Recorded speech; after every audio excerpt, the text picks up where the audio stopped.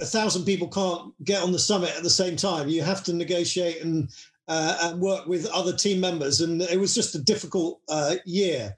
Um, mm. Basically, it, every, everyone did what they wanted to do. There was a bit of um, argy bargy we think the Americans had uh, a, a, weather warning which said there was a storm coming, but nobody really knew when. And so basically, it was business as usual. Everybody uh, went up the mountain, uh, 9th, 10th, 11th of May.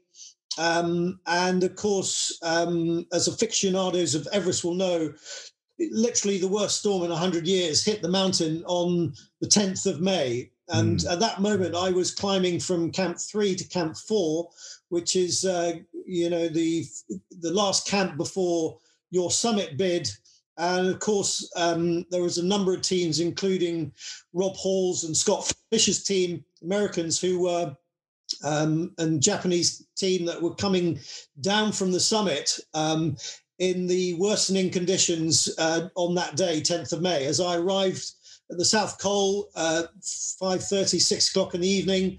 Um, you know, the wind was was horrific, horrendous. There were loads of tents around me. I kind of just assumed that everybody was was back safe down, which they should have been ordinarily um, in their tents. And you know, you don't really interact. You just you're exhausted. You climb into your tent. In fact, I had to erect a tent, and which took 45 minutes instead of three minutes because of the uh, the difficult conditions. But we dived in eventually.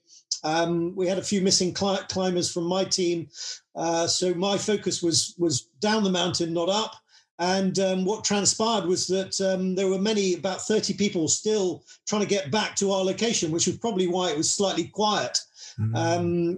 and of course, uh, during the night, it was horrific um, conditions. And sadly, you know, eight people lost their lives during during that n- next 24 hours. Mm. It was pretty grim.